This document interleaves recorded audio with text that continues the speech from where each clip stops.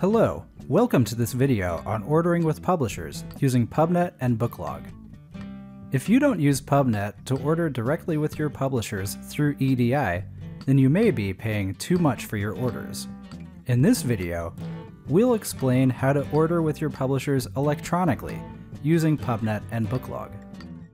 Pubnet, which has been an important part of the North American book industry since 1987, is an EDI-based ordering system that delivers orders from Booklog and other systems directly to publishers. If you're used to ordering electronically with Ingram, then using Pubnet is essentially the same.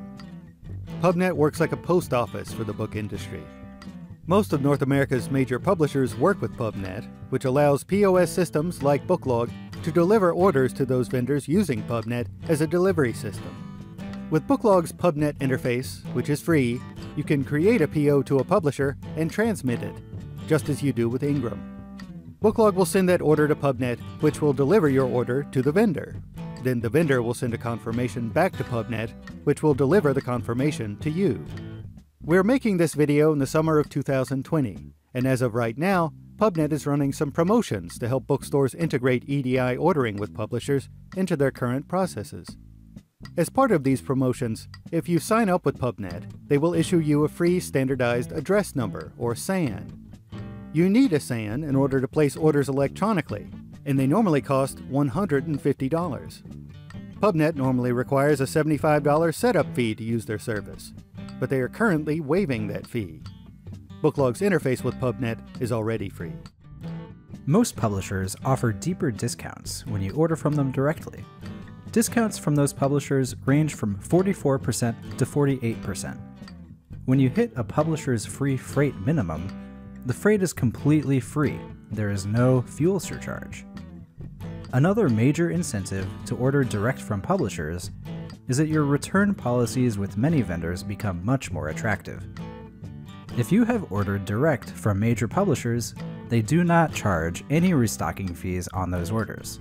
And while distributor orders usually involve a window in which you're allowed to make a return and a cap on the amount of inventory you're allowed to return, when you order direct from major publishers, you're allowed to return any book you've ordered, as long as it's still in print.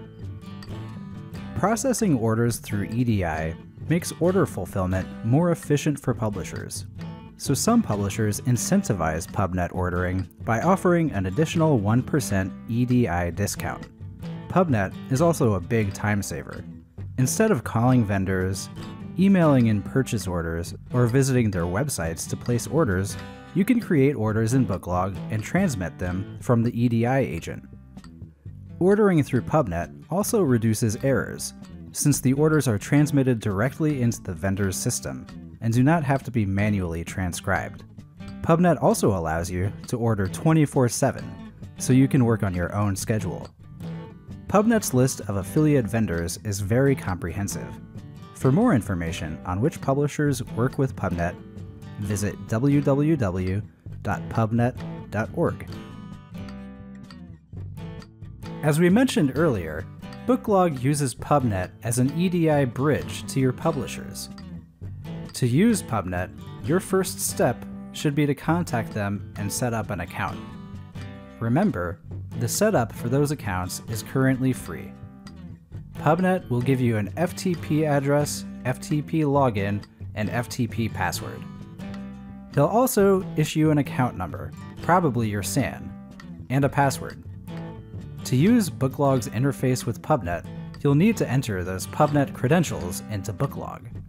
And to direct Booklog to use Pubnet for ordering with certain publishers, you'll have to set up those vendors to communicate with Pubnet. After signing up with Pubnet and getting your account credentials, you'll need to enter them into Booklog for each vendor you plan to order with through Pubnet. Go to the maintenance menu and click Vendors. Look for the vendor you want to order with and double click on their record. You'll need to enter Pubnet's FTP address and the vendor's SAN on the first tab. If you don't have the vendor's SAN, you can find it on Pubnet's list of affiliate vendors. Then click the Electronic Ordering tab and choose X12 Pubnet. Then enter your Pubnet account number into the Bill to account and Ship to account fields. Your Pubnet account password into the Bill to and Ship to password fields. and then your FTP password and login in the fields at the bottom of the window. Once your vendors are set up to use PubNet, you'll be able to send your orders out to those vendors using the EDI agent. You'll also get confirmations, or purchase order acknowledgements, back on those orders through the EDI agent. And those purchase order acknowledgements will update your purchase order to show what will and won't be coming on that order. To transmit your orders through PubNet, you'll put a check next to the finalized PO you want to send and click Transmit. A transmission window will appear, and here you can make decisions about how to backorder items and when you want to transmit your order. After it's transmitted, the EDI agent will show you whether or not the transmission went through. You can search for available POAs after the PO has been transmitted, but be aware that different vendors have different response times. You might only wait a few minutes for a response, or you might have to wait a whole business day. Once the POA gets received, Booklog will update your PO to show which items have been canceled, assuming you didn't backorder any items. This can speed up your receiving process quite a lot. Thanks for joining us. We hope it encourages you to start using PubNet in your ordering process. It's an inexpensive service, especially with their current prices. It can save you time and money. We also hope you found this video useful. If you did and would like to see more like it, subscribe to our YouTube channel. Thanks again.